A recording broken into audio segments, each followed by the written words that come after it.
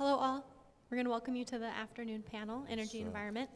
If, if you're interested, Um, some of the materials. We should have a rousing session for everyone post lunch, so it's pretty exciting. My name is Kayla Harris. Um, I'm from the Lucy Burns Institute, which runs Ballotpedia. We're an almanac of American politics.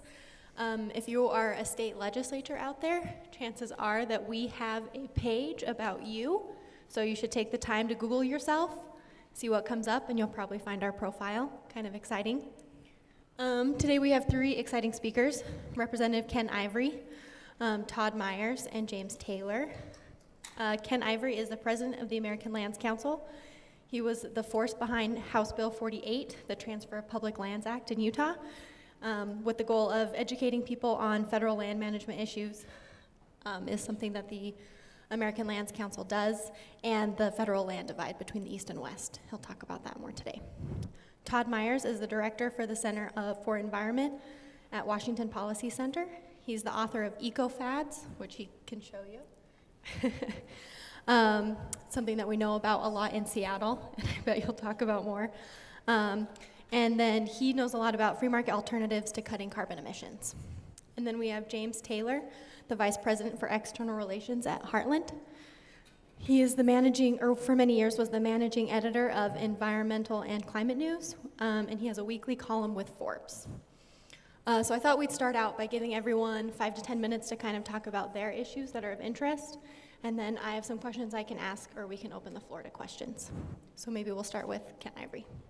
Okay, we- I guess we're, we're hot, okay. Um, Meaning our mics are on. It is after lunch. so. Uh, you- Anytime I see a group like this, I get excited because I can't help but think of 56 people sitting in a room and change the world against all possible odds. I mean, think about that. They had no resources, they had no uh, backing, they had no business doing what they did, and yet they formed a completely unique form of government. There's such incredible opportunity. We have such tremendous problems six million acres a year burning, millions of animals being burned alive, watershed being destroyed, uh, blue ribbon fisheries, habitat, air pollution. And yet there is a fringe group that calls that environmentalism. You think about that. What an opportunity.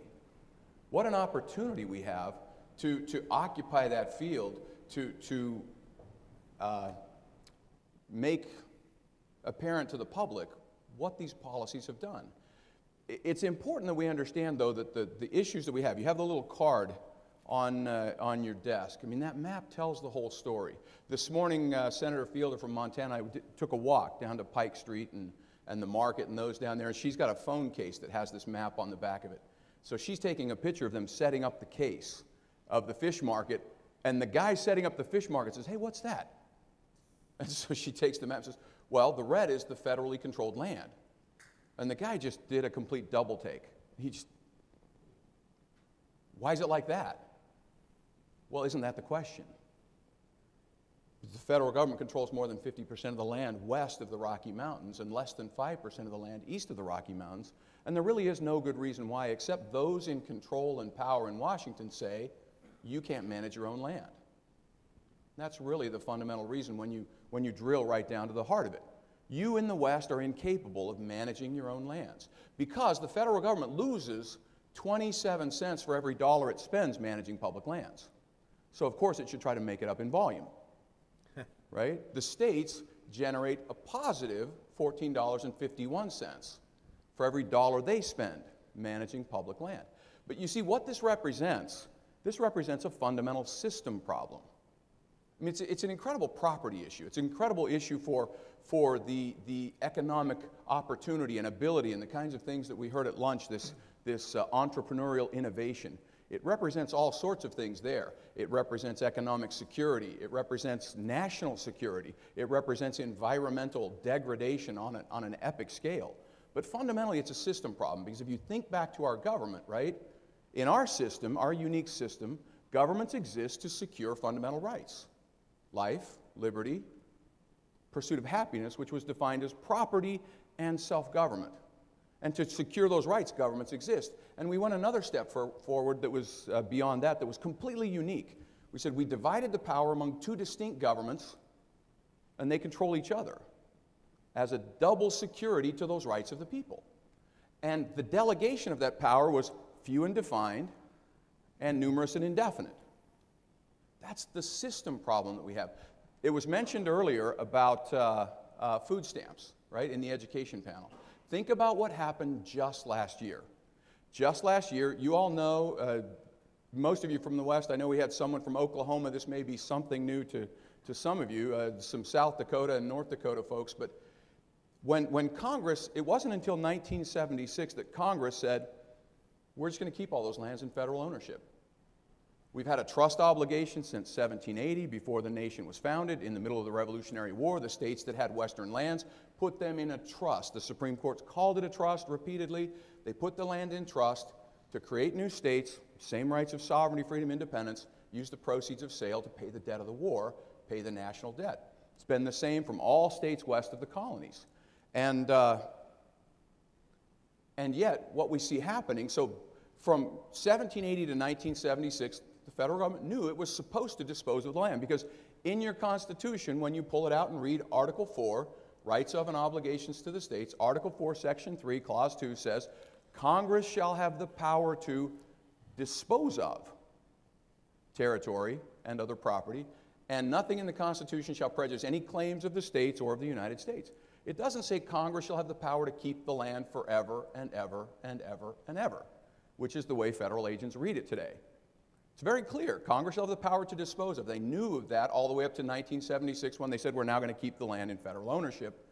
And yet, in doing that, they said not to worry, you in the western states, because we know some of your counties have only 3% taxable land, some even less than that.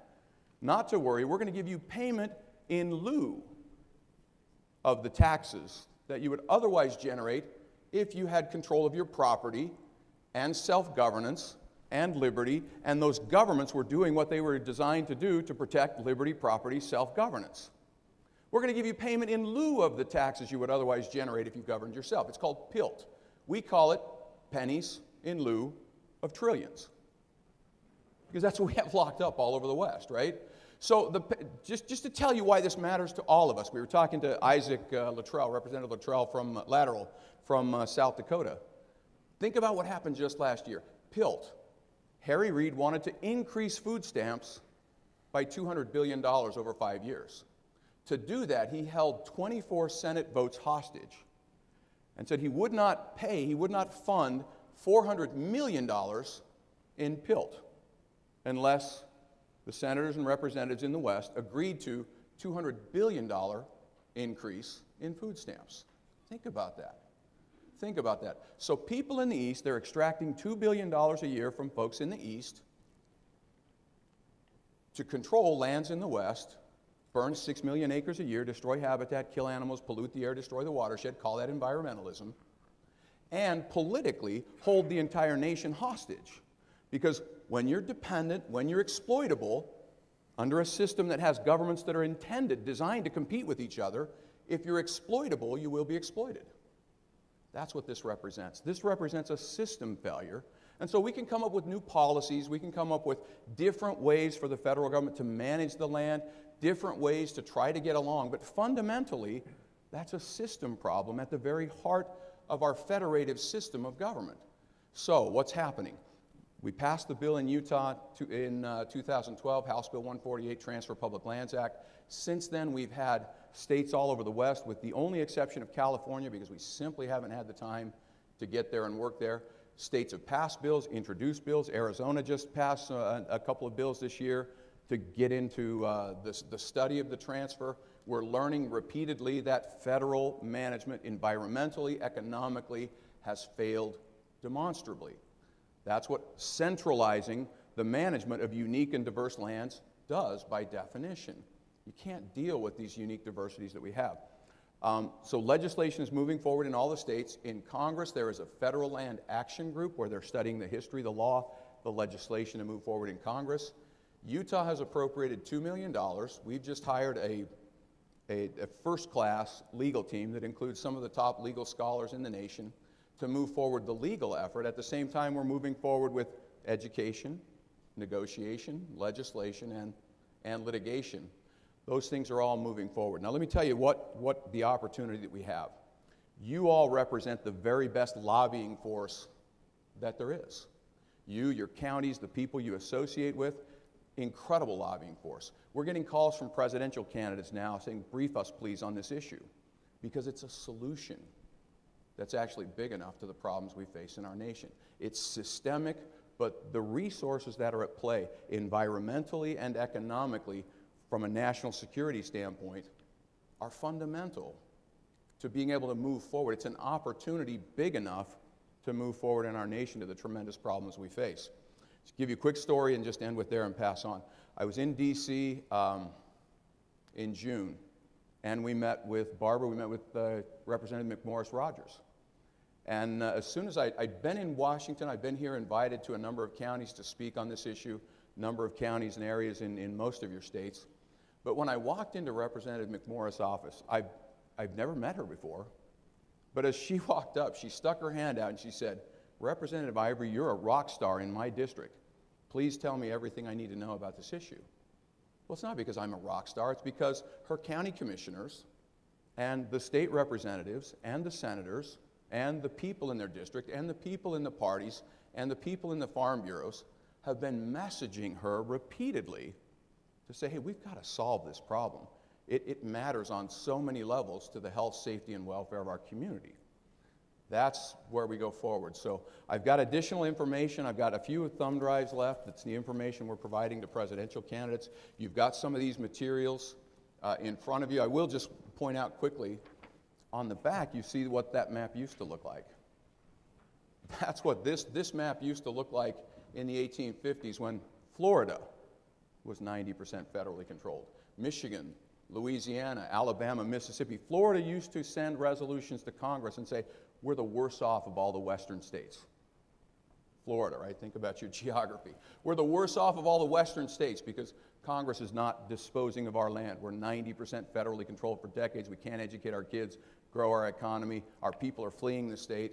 They banded together and did the very same thing we're, we're doing today because they recognized it was fundamentally a system issue. That if they didn't resolve the system issue, it doesn't matter what the policy or the personality is. It's exactly where we are today. Your help is critical, and uh, look forward to questions and uh, any other information we might be able to provide to you. So I'm Todd Myers. Uh, I'm the environmental director of the Washington Policy Center here in Seattle. Um, I get to deal with the environmentalists here, so you don't have to. I think fundamentally, when you talk about environmental issues, um, oftentimes on the free market conservative side, um, we talk about the things that uh, Representative Ivory just talked about, which is governance and the Constitution and property rights and things like that. Um, the environmentalists never talk about that because they don't care about that. Um, we talk about jobs. We talk about the impact of jobs and prosperity, of uh, environmental regulation. Uh, the environmentalists at least try to make an argument about that subsidies for solar and other things like that create jobs, um, but they quickly give up on that. When you push back and you say, Oregon is the number one green jobs state in the country and they have higher unemployment than the country as a whole, they sort of go, it doesn't matter, it's good for the environment. Okay? So we win when it comes to Constitution and jobs. My message to you is we also win, and we should be forceful about pointing out that we win when it comes to the environment. Look at a map. Environmentalists can be identified by people who have sequestered themselves in places where we have paved over the environment to within an inch of its life with concrete, steel, and asphalt. Conservatives who, and people who believe in the free market are the ones who actually live near the nature near the environment. They make it not just something that they care about, they make it their lifestyle. And yet, it is the people who live surrounded by concrete and steel who lecture the people who live near nature about how to care for the environment. And part of the reason that, occurs is we allow it to. Our immediate answer when it comes to how do we care for the environment is not, I know how to care for the environment, I live there. It is, don't kill my jobs we need to start with look, don't tell me how to care for the environment. I do it every day. Okay? And the fact is, is that Sitting here in Seattle, I can tell you that the policies of the free market do more for the environment than the policies of the environmental left. Talking about land stewardship, I used to work for the State Department of Natural Resources, which manages um, all the state um, trust lands, primarily forest land, but um, aquatic lands and a variety of other things. And uh, in 1999, we passed a law requiring that all salmon culverts um, be upgraded so that you could open salmon habitat. Salmon habitat is a very important um, environmental value in Washington State. I actually sit on the State Salmon Recovery Council, and we're trying to find ways to open up habitat. And what happens is you have these little tubes that the salmon can't get through that block a huge Uh, uh, areas of habitat for salmon. But you contrast the management on state lands and on federal lands. And what you find is, is that on state lands, where there is timber harvesting that generates revenue, the state is almost done on state trust lands fixing those salmon culverts. On federal lands, they are decades behind because there is no revenue associated with it. And what you find is situations where you have to rely on Congress to fund these very unsexy projects that would open up salmon habitat. But there's no revenue stream associated with it. Where there is business, there is sustainability. You can't be environmentally sustainable unless you're economically sustainable. And so often, what happens with politicians when they look to fund um, projects that would actually help the environment, it sort of reminds me when I was in Las Vegas and I came out and there was a guy and he said, Sir, I'm very hungry. I haven't eaten today. Can you give me some food or some money for some food? And I said, How do I know that you're going to spend this money on food and not just gamble it away? And he said, Oh, well, I got gambling money. and so when we ask Congress or other folks to say, we need money to fund salmon habitat, to open these culverts, to fix them, right? They spend the money on sexy projects like subsidizing solar and other things which have very little environmental benefit. But they don't fund the things that are less sexy. And the reason is, is that they fall for fads. When push comes to shove, when the choice between looking good and making symbolic gestures and actually doing the things that help the environment, the political left chooses the symbolic gestures. And let me just give you one last example. Here in Seattle, we used to have a mayor named Greg Nickels, who um, he uh, wanted to be the, the, sort of the greenest mayor in the country. And so he, uh, in 2005, said that if George Bush wouldn't sign the Kyoto Protocol, by God, he would. And he got a thousand cities across the country to sign the U.S. Conference of Mayors Climate Protection Agreement which pledged that by 2012 they would hit the Kyoto Protocol targets that George Bush would not. So in 2009, when he left office because he was voted out, they did a survey and they found that in fact that they had met the Kyoto Protocol targets. The problem was is that all of the reductions that had come were due to one thing, and that was people switching from home, oil, home heating oil to natural gas in the 1990s, long before he was ever mayor. And in fact, I wrote in my book, it says, these reductions occurred in the 1990s as city residents converted from expensive carbon intensive heating oil to cheaper natural gas, which produces far fewer greenhouse gas emissions for each unit of energy produced. Um, Seattle officials even admitted that these occurred, quote, for economic reasons, natural gas has gained favor over oil for space heating since 1990. Here's the last kicker.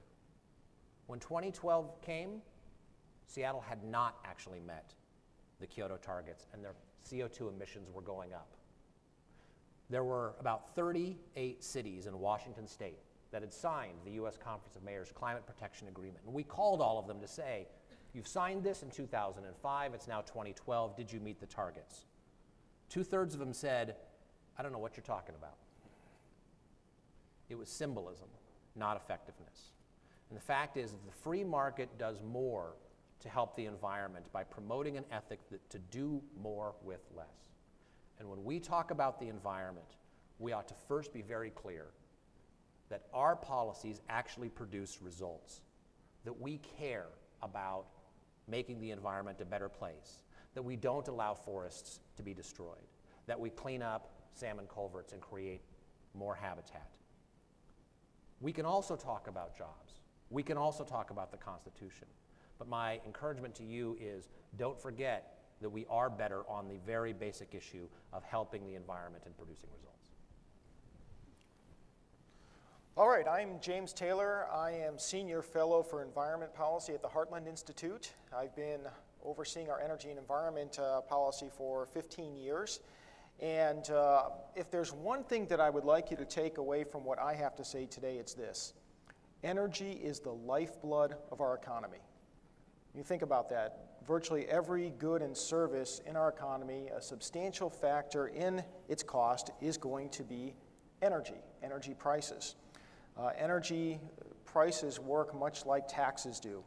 Uh, when energy prices go up, the price of the good or service that you're purchasing also goes up. When energy prices go down, well, then that means that the providers can reduce their cost to you because their costs are less.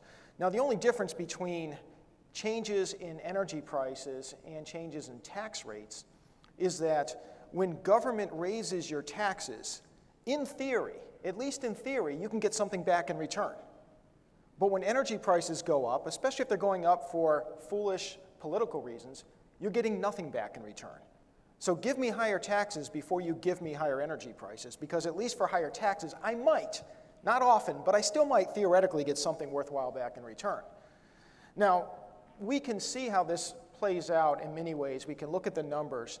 Uh, but before we get into the, to the details, and I'll try to keep it brief so we can have more conversation, but there's, there's nothing about uh, the Heartland Institute, there's nothing about me in particular that's anti solar, anti wind, or anti any particular form of energy. What we stand up for, and what I hope you stand up for, is affordable energy. And oftentimes I hear the term, I'm for all of the above energy. I'm for an all the above energy policy. And it's important to understand what an effective all of the above energy policy is. It's not that all of the above, every source of power generation, gets a certain amount of subsidies. It's not that they all get a guaranteed market share, as is the case in over half of the states in our nation.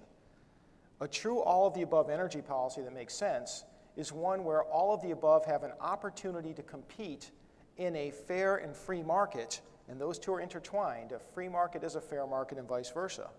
And if one particular form of energy is more affordable, it, it, it's a better source, it's going to win out.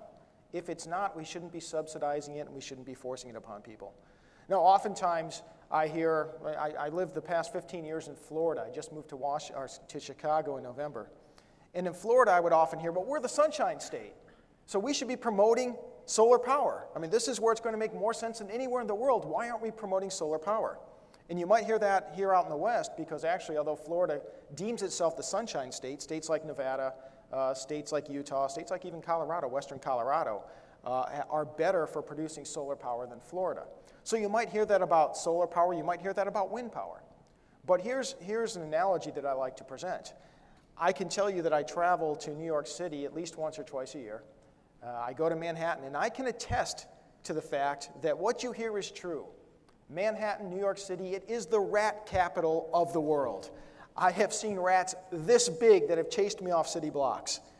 Well, we have the technology we can put these big rats, we can put little electrodes on them and we can hook them up on treadmills and put a little generator on there. We have the scientific technology that we can generate electricity from rats running on treadmills.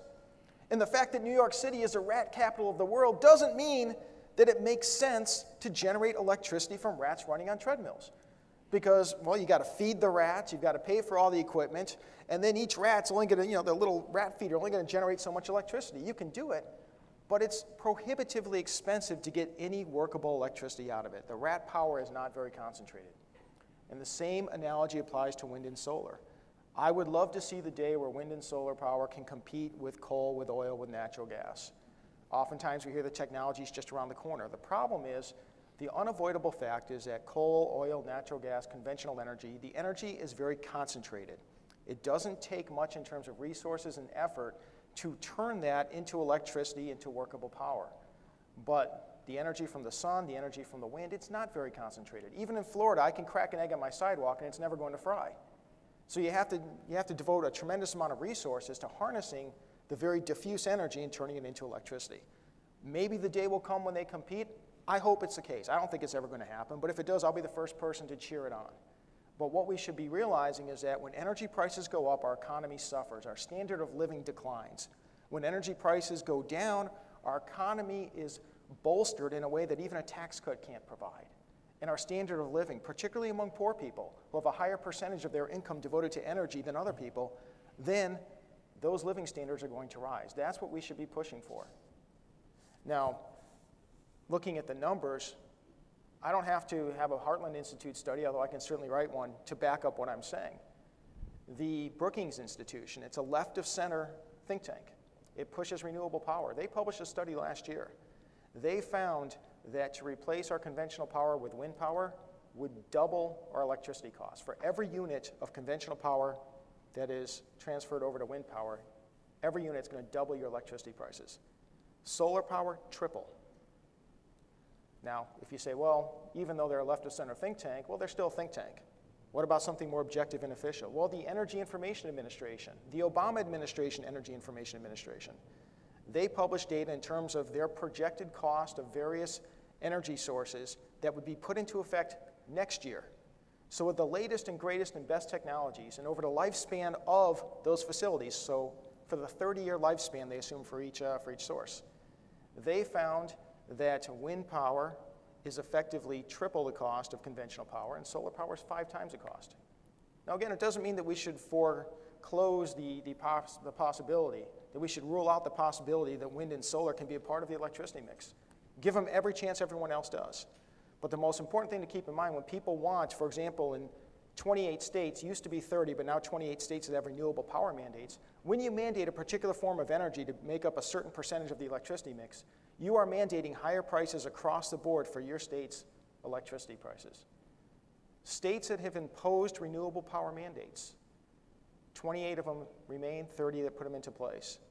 Since 2008, which is the year when almost all the states had implemented their renewable power mandates, those states with renewable power mandates have seen their electricity prices rise twice the pace of the national average. If you want to chase people and businesses and industry out of your state and into your neighboring state, the best way to do it is to impose renewable power mandates.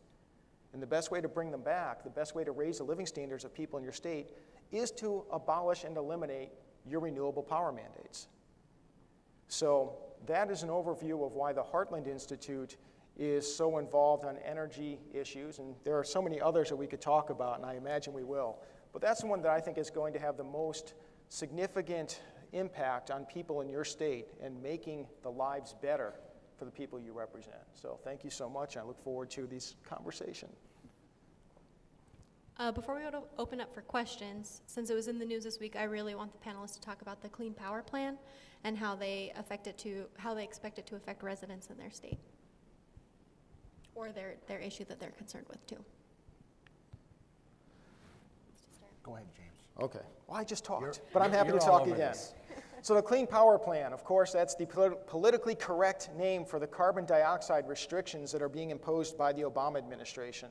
They're requiring a 32% cut uh, by the year 2030, but it is not uniform. Up until now, EPA, the federal government, would say, okay, we have an issue with sulfur dioxide from power plants. So throughout the industry, no matter where you're located, you have to do X or you have to do Y. What's real interesting about the Clean Power Plan is EPA has instead given every state its own required reduction. And the amount of the reduction varies by state to state. It's the first time this has ever happened, and that's something that is uh, legally susceptible to challenge. And coincidentally enough, who would have thunk it? If you're on the West Coast, if you're in the Northeast, if you're in politically blue states, your cuts aren't nearly what the cuts are for folks in flyover country uh, for folks in the Intermountain West. And it's really ironic considering that the people who are pushing these carbon dioxide restrictions are the ones who are going to have to cut the least, and they're forcing it upon everyone else. Where have we seen that before, Ken?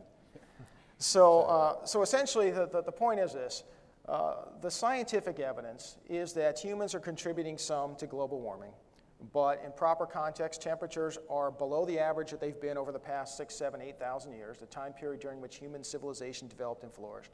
They only seem warm compared to temperatures of the past few hundred years, which is when the Little Ice Age ended. The rate of increase has been modest, and warmer temperatures have always benefited human health and welfare, and they continue to do so.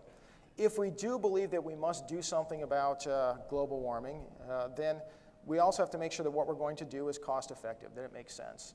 Uh, right now, China emits more carbon dioxide than every nation in the Western Hemisphere combined. Combined. And their emissions are growing by 10% per year. So if not only the United States, but every other nation, Canada, Mexico, Venezuela, Brazil, et cetera, implemented this clean power plan, and in fact did more than that, completely eliminated our emissions today, in less than a year it wouldn't matter because new emissions in China would totally negate that. So what we're doing right now is we're imposing tremendous economic hardship on the American people, on the people in your state. It's being done unfairly. It's being implemented politically to single out people who have not voted for Obama in states that, that are not blue states. And it's going to have absolutely no real world impact on temperatures. Let me just add two things real quickly. One is, is that in, in many cases the, the regulations are simply unattainable. Um, Washington State, we, our governor, Jay Inslee, um, likes to call himself the greenest governor in the country. Uh, but when they sent in their comments for the 111D rule, they actually complained that the, that, that the rules may be unattainable because we have a lot of hydro, we have nuclear, and we have some wind. But in order to increase the amount of energy that, and to deal with all of those intermittent sources, we're going to have to build natural gas. And they actually even wrote because renewable energy is dependent on some load following fossil resources, Washington needs natural gas. This is a point that we've been making, right? That you can only go so far with wind and solar and intermittence, and you need natural gas. And they always say that's nonsense, you're bought off by the fossil fuel industry. And yet, in their own comments to the federal government, they sort of say, by the way, we need some natural gas. The second thing, though, is, is that this is, if you truly care about reducing carbon emissions, this approach is the least effective and most expensive way to do it. In terms of actual carbon emissions for the, for the dollar, you get much less with this than uh, all sorts of other alternatives. This regulatory approach um, causes uh, rates to go up, but the actual amount of benefit you get is very low. Caring about the environment means that you demand the most bang for your buck. And if you believe that climate change is a crisis and we must act now, you cannot then turn around and say, oh, but it's okay if we waste a lot of money on small uh, benefits because we need to do something. You should demand that you get the most benefits for every dollar that you spend, and this plan simply doesn't do that. Again, what they have done is they have fixated on a few sort of boogeymen, fixated on that, rather than the goal that they claim they care about, which is cutting carbon emissions. Can, can I add one? They covered it very well. I'll just. uh, Can I add one point here?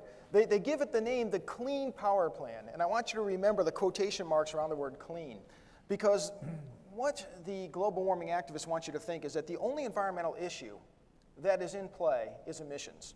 According to the US EPA, federal government official stats, emissions of the six principal pollutants that they track, the six ones that they're most concerned about, have declined by more than 70% since 1980. That battle has already been fought and won. When they talk about clean power, I want to ask them this, and I hope you do too. What is so quote unquote clean about wind turbines slicing to death in mid flight 1.5 million birds and bats every year? When you splatter the blood of these creatures all over the landscape, that's not very clean to me. And that's while providing only 3% of our electricity from wind power. If you ramp it up to 20, 30%, now you're talking 15 million birds and bats sliced to death in mid flight, many of which are, are endangered species. What is so clean about developing so much undeveloped land and littering them with these steel behemoths that are standing up in the, in the middle of the Great Plains or on mountaintop ridges, et cetera? According to the American Wind Energy Association's own numbers, it requires 600 square miles of wind turbines to replace the power of a single conventional power plant.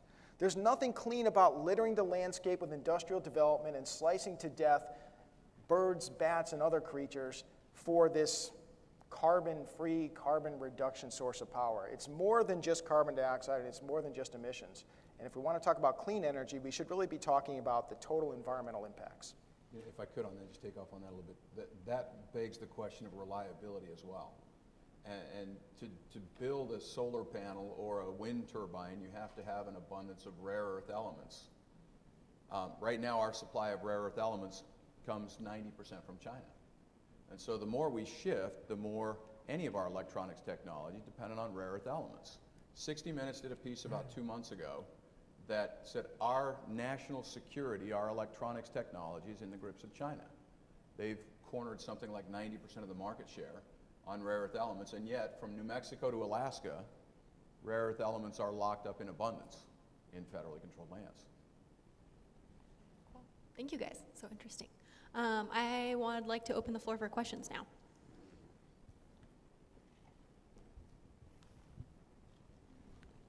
We've stunned you.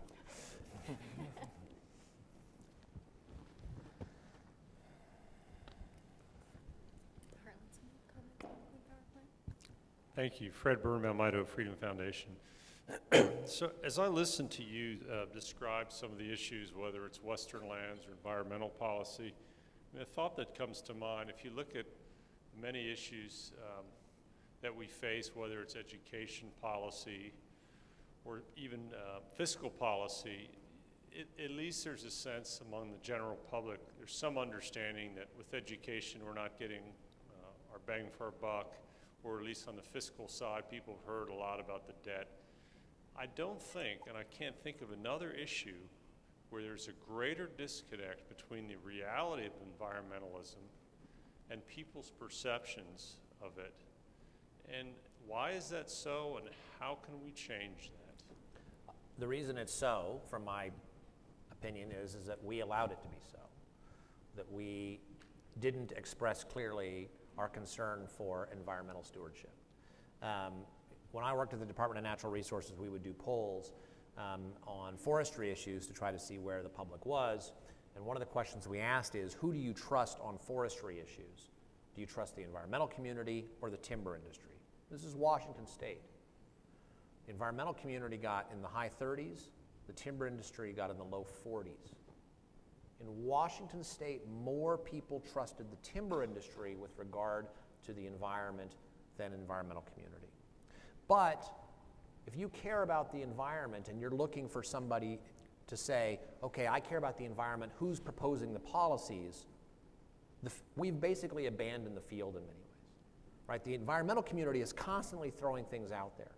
And so for folks who care about the environment, which is frankly everybody, and you're looking for solutions, and one side is not offering them, people who don't do the research and who simply feel like, I want to help the environment, feel like they only have one place to go. But if you give them an alternative, and that's what we've seen in Washington State and people, the Washington legislators who are familiar with forestry, is the timber community, uh, the unions and other folks said, look, here's how we can do good forestry in Washington State that involves harvesting, that involves making healthy forests, People chose that. Um, we don't do that on every case. And I think that one thing, a trap that we fall into is, is that when the environmental community trumps up a, a, a claim about clean air, clean water, carbon and things like that, and they, and they scream, we're all going to die, too often our reaction is, that's bogus, that's phony. And what it sounds like is, is that we don't care. And I, and I think that we need to be careful about that. That doesn't mean that we need to just sort of go along and try to do, you know, their crazy thing better. not advocating that at all. But I do think that we need to be clearer about the fact that we care about the environment. We're the ones who live near it, right? We don't live in downtown Seattle. We live out near the forests and we work the land. So that's, that's why I think that's happened. There's a real opportunity there, and when you engage, the environmentalists lose. Yeah, I mean, Fred, you know this very well, but um, I, I think there is a tremendous opportunity. Failed policies fail. That's what they do. And, and these policies now, given two, three decades, are failing demonstrably. You know, you had uh, University of California Merced scientists about a month ago said that if they just harvested the Sierra Nevadas to the sustainable tree density, 50, 60 trees per acre, they would preserve in drought-stricken California significantly more than a quarter trillion gallons of water a year. At the same time, they would have vibrant communities, fund education, fund public safety. You've got in uh, Oregon, just down the road, Josephine County, Oregon. I mean, this was an NPR story. NPR did a story about a woman that calls 911. I mean, Josephine County, their main industry is forestry, right? Shut down because of the spotted owl. 25th anniversary of the spotted owl a month and a half ago. Species is still declining faster than ever. Forest health declining, communities are dying. That's the 25-year record of the spotted owl. And now they're going out and taking shotguns and shooting the barred owl because that's the bigger, faster cousin that gets to the food source. But that information isn't out there. And, and um, we've got, there are literally body counts. I mean, Oregon, this woman calls 911 because they, their harvest, their resource has been taken away. She says, somebody's beating my door down. Can you send the sheriff out? She says, no, I'm sorry. The sheriff only operates from 9 to 5 because they've gone from 30 sheriff's deputies down to two because their resource has been locked up. She says, no, the sheriff only operates from 9 to 5. The 911 operator says, can you ask him to go away? Did it work? She says, I already tried that. then, then the response was, well, can you go around him? No, he's blocking my only way out. She says, well, all I can tell you is to call back tomorrow. And the woman was, was raped and brutalized, and Sheriff Gilbertson put out a press release to say, if you know you have domestic relations issues, you should move somewhere else. I, I can't protect you in this county. When their resource is so vibrant, they used to have some of the best funded school districts in the nation. But we, we've got to tell these stories. In Alaska, King Cove, Alaska, they have a body count now going because it, it's socked in, it's only accessible by air. They can't get out in the winter. There are times they can't get out by air. They want a 10 mile, one lane road to a town that has a year round airport. 10 mile, one lane road in the 400 million acres that is Alaska, but it would cut through the corner of a wilderness area. 10 mile, one lane Jeep trail is all they want to be able to evacuate people. People are literally dying. And, and the Secretary of the Interior says, well, no, I'm sorry, it, it's, you don't really need that road. These are things that we really have, stories we have to get out. We've, we've got to get more effective at doing that. Failed policies fail. We have to show that and maybe get beyond the white papers and start telling the stories. If I can add, I, I really appreciate and understand uh, the concerns uh, expressed in the question. We are fighting an uphill battle. The mainstream media is, uh, I mean, they're, they're leaning left across the board, and especially on environmental issues. But don't get discouraged. And don't feel that just because we can't win the battle with the media, that we can't win uh, in the court of public opinion. Uh, if you look at, for example, global warming, uh, if you look at the public opinion polls, it drives the alarmists crazy that when they ask about how many people are very concerned about global warming, the number is very low. When they ask people how many believe global warming is human caused versus natural caused, and, and it's hard to say precisely, probably about half of each over the past few decades, but it's hard to tell for sure. But the American public generally are split down the middle. And that's not the message that the media is trying to sell. It's not the message environmental activist groups are trying to sell. And I think a big part of that is that if this were 30 years ago, all we'd have for our information would be the three major networks and then maybe a couple newspapers, all of which lean left, and people would not have access to the truth. But now we have the internet. People can go to the Heartland Institute website, the Washington Policy Center website, wherever it may be, scientists who are reporting the truth. We have talk radio, we have cable television, we have all sorts of ways to get the word out beyond read, the read media. good books. Reading good books by Todd Myers. But the fact of the matter is, when we try to get the information out, we may have an uphill fight because the mainstream media is against us, but we get the information out. Oftentimes, I'll give a global warming talk. If I have 20 or 30 minutes, I have to choose what I want to put in that 20 or 30 minutes. And I'll have someone from the audience say, Well, Mr. Taylor, why didn't you mention this and this? And it blows me away, and it makes me so happy that people understand that.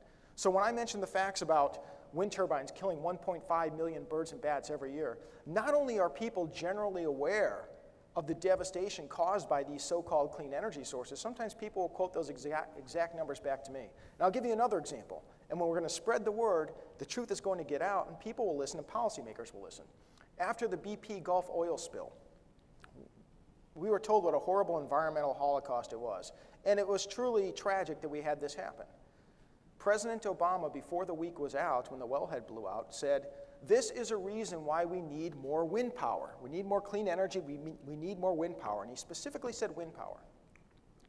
Well, after the wellhead was capped and the environmental cleanup was completed, the U.S. Fish and Wildlife Service, official federal government agency, they did an environmental body count on the marine birds, the marine reptiles, the marine mammals that were killed in that oil spill. Their final tally, give or take a few dozen, was 6,500. The proposed solution to avoid a once in a generation oil spill that killed 6,500 was to have more wind turbines that kill 1.5 million each and every year. Now, most people don't know that, but when we spread the word, and we have to go around the mainstream media often to do it, people will get on board like they have regarding global warming. So, yes, we do face an uphill battle, but don't give up hope. Don't think that we need to concede the issue or we need to just put our tail between our legs and say we've lost, because we're winning on a lot of fronts and we can win on all fronts, because I think the truth will ultimately prevail. Senator Jan Angel here in Washington State, and boy, the stuff you've hit today is really timely for me. I've gotten hit, and I don't know if the other legislators have, but I'm being hit right now really hard on the Clean Power Plan. And their form letters, I don't know for sure where they're coming because they are all constituents of my district. So is there a place uh, that I can go? Uh, you, you may already have the talking points for this on websites, but if you could help us. Send one to me, I'd be interested, because Yeah, they're coming hard and heavy. The first thing I did yesterday is send back a response to every one of them saying, Have you read the plan? And I'm getting some yeses with a lot of details, so now I need more detail to educate and fight back. So I'd appreciate that. And also, public lands. I was getting hit really hard with this a couple weeks ago, and while we're here, I had my LA send me one of those emails so I could see what was their beef on that. And it was from hunting and fishing groups afraid they were not going to have public access to those lands if it comes to the states. So, FYI. Yeah, on, on, that second point, Senator Fielder from Montana's back here. She actually ran a bill in their legislature that said if and when the lands come to the states, we won't sell the lands. We'll keep them open, keep them accessible, which goes along with the same policy all the western states are pursuing. She runs the bill, and in committee, guess who opposes the bill? all the same environmental groups that have been harping about, we don't want you to lock up access, you're going to ruin and lock up access to the lands. So uh, where a lot of that comes from, there was a, a Swiss billionaire uh, put up about $20 million to try to take so-called hunting and fishing groups, the kind of the green decoy groups, and, and come out as if, as if the land would be locked up. I'd invite you to go to the American Lands Council website, and in the About section, there's a policy statement. Policy statement was passed unanimously by leaders throughout the nation on this, and critically, federal public lands become state public lands for multiple use, sustained yield with local planning, preserving all valid existing rights. We have to do that. We didn't invite this accident of history. We didn't invite the federal government to control our land for 100 years or, plus, or more, but that's where we are. And so there are legal rights and other rights that have accrued over that time, and so we have to, to recognize and respect those. That's why federal public lands become state public lands. State and local governments deal with that transition to preserve valid existing rights in the transition for how we deal with those issues. Um, and it's critical, but that's the fact that, the fact that they're attacking and engaging and mischaracterizing shows us where we are on that Gandhi scale, right? The Gandhi scale, first they ignore you, then they laugh at you, then they fight you, then you win. Regarding your first point, um, sitting right behind you is John Nothdurft, who is the head of our Government Relations Department. And you may have seen and received in the past, we put out research and commentaries uh, that we send to legislators. And I don't know if we've done one on the Clean Power Plan yet. If we haven't, I suspect we would. But uh, you can expect to hear from John and his staff on that topic. And if you don't, or if you have a hard time finding it, you can email me, jtaylor at heartland.org. You can email John, and we'll get you that information. One other thing, just uh, anecdotally, uh, President Obama on August 24th is going to be the keynote speaker at Harry Reid's Clean Energy Summit in Las Vegas. They just announced that, the White House did this past week. And we're putting out a rapid response team. We're going to hold a press conference uh, at the same time, uh, the same place if we can, and we're going to put out the, the truth about affordable energy versus so called clean energy that is neither clean nor affordable. So expect to hear a little bit more about that as well. I think we've got time for uh, one more question. Yeah, Art Wittich, Montana House. Um, It's my understanding that under 111, the Clean Power Plan, it's a recent administrative decision that CO2 is a pollutant. And they have then set forth these standards, and the feds are very good at setting standards, not very good at implementing. So my question is, uh, and, and knowing that there's, you know, it- there will be a change in administration, Um, why don't the states just not participate? Why don't the states um, let the feds try to figure out how to implement a 30% reduction in CO2? I'm happy to take that, but I'll let you guys go first if you like. I- No, I just think it- it- the, the risk that you take, of course, is, is that the, the feds can impose their own plan. And so it is, it's simply a, a sort of a risk management question. I don't think it's a, uh science or governmental question, it's just a risk management. Do you want the devil you know or the devil you don't? Um, I know that there are plenty of states that are probably going to go that route and give that a shot. Um, I don't know what the result will be. Obviously, if there's a different, if there's a more conservative administration, that may pay off. But that's, I think it comes down to just a risk management question.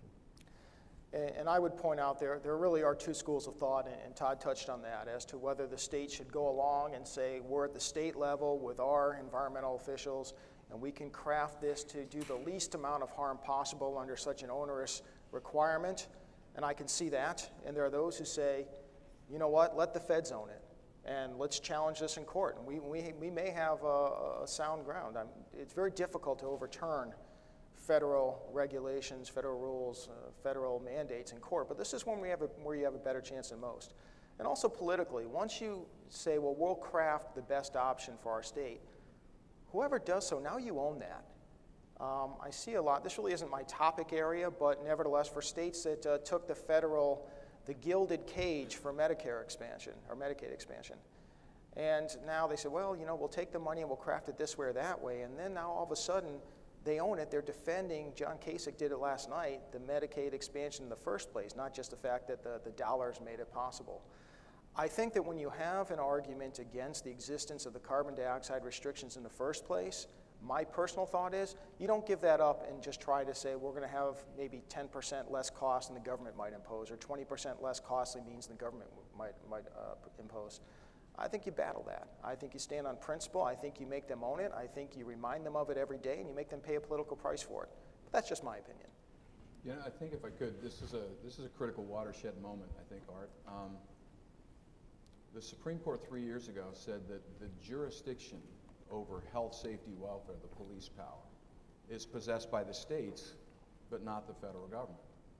They said that the independent power of the states serves as a check on the arbitrary power of the federal government, and that states are separate and independent sovereigns. Sometimes they have to act like it, not ask like it, not litigate like it.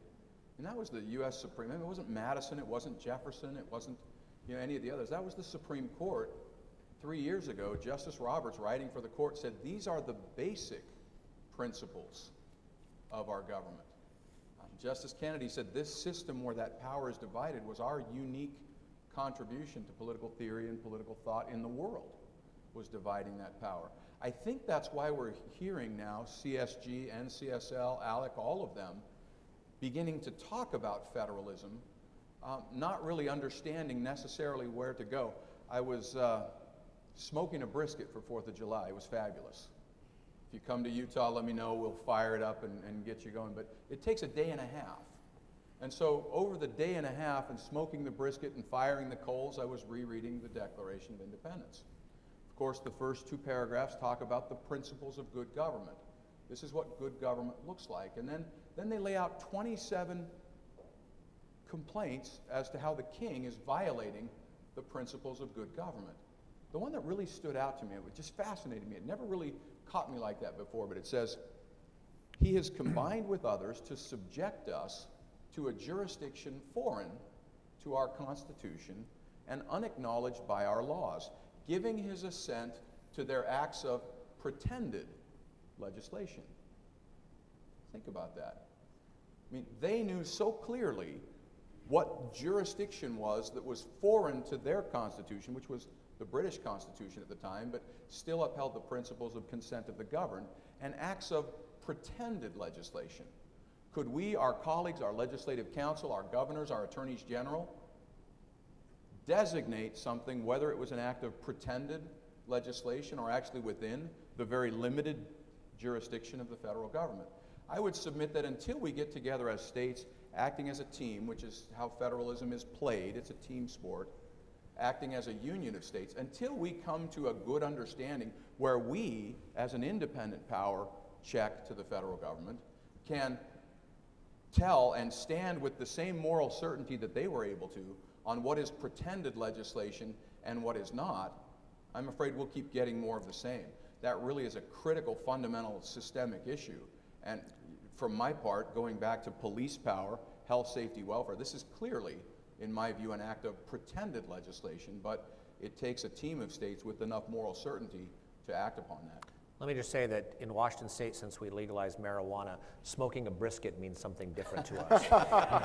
One one more thought, if I may. I love that. The Clean Power Plan, it's an executive administrative act. A future administration can pull that back. Now, I understand that it's, it, it- we don't have a very strong track record of, even when we have people professing to be limited government, conservative, whatever else, of rolling back regulations. But it's possible. It can be done. And I can tell you that more than one, the staffs of more than one of the presidential candidates that you saw yesterday have been in contact with me personally. Hey, James, what can we do? If, if we're elected, what are the things that we can do right off the bat to have a more common sense energy and environment policy? So they're at least listening, they're paying attention, and there's at least a chance they can roll that back. Once a state submits their own implementation plan, once they commit to doing all these things to restrict carbon dioxide emissions, which really means restricting affordable energy and pushing very expensive energy upon their, their constituents, it's going to be much more difficult for the people who take the route of championing that to also pull back if it's no longer federally required. And that's something that I think is very important. Well, thank you all for your time, and thank you so much to the panelists. Please give them a round of applause.